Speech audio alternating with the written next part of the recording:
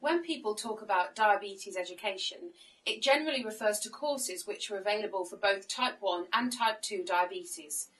Courses for type 1 and type 2 diabetes should be available in most parts of the country. For people with type 1 diabetes, the courses tend to focus on carbohydrate counting and insulin dosage. The courses tend to be intensive and can last anywhere between half a day and a week.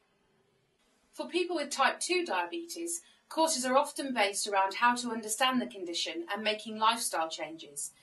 These courses tend to be run over the course of a day or a few sessions spread over many weeks.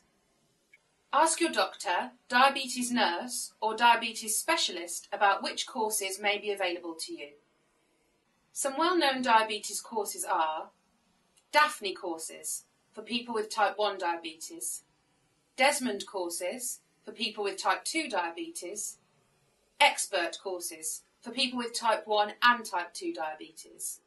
At DAFNE style courses for people with type 1 diabetes, you'll learn how to monitor the content of carbohydrate in food, how to set up your background insulin, rules to help you with your bolus mealtime doses, how to correct high and low blood sugar levels, how to manage sugar levels during exercise, how best to cope with periods of illness.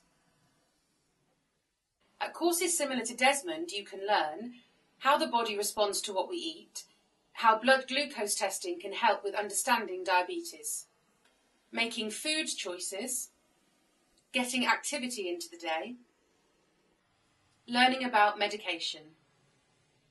One of the benefits of the courses is the chance to meet people in a similar position and find out how they deal with diabetes. The feedback on diabetes courses is usually very good, and diabetes course providers are often very keen to take feedback into account.